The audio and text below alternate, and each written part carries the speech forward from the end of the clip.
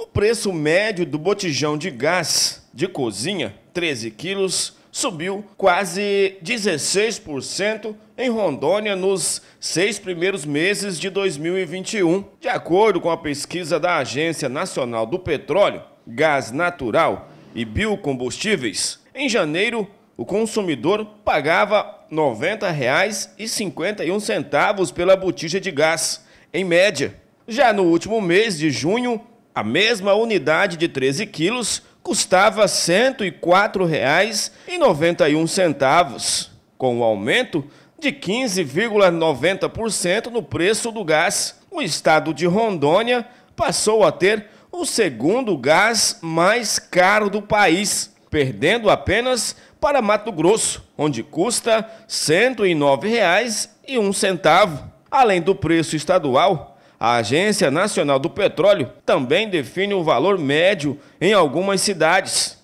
No último mês de junho, Pimenta Bueno era o município que vendia o botijão mais caro, onde o valor ultrapassou a 115 reais em média. Pimenta Bueno, R$ 116,33. Vilhena, R$ 114,80.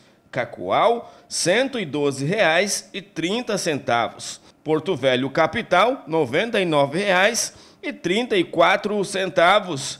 Rolim de Moura, R$ 115,00.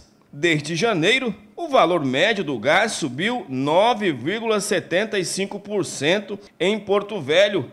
Foi de R$ 90,51 para R$ 99,34. Porém, se comparando ao preço comercializado em março de 2020, por exemplo, a alta já chega a quase 21%. O aumento do preço do botijão de gás ao consumidor acontece após constantes reajustes feitos pela Petrobras às distribuidoras. No mês de junho, a exemplo, a empresa elevou a 5,9% o preço médio do gás. Na última segunda-feira, dia 5, a Petrobras informou que vai reajustar de novo o preço dos combustíveis, incluindo o gás, a partir de terça-feira, dia 6.